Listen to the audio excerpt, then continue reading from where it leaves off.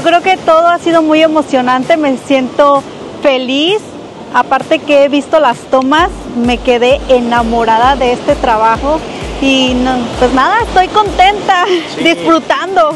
Es bien importante para talentos como tú armar un EPK de repente, ¿no? Sí, no, totalmente, totalmente, es súper importante y qué más que con los mejores y la verdad que sí lo estoy disfrutando al máximo. Creo que se nota, ¿no? Que lo estoy disfrutando aquí Claro. en la playa, la arena, el solecito, o sea, a gusto.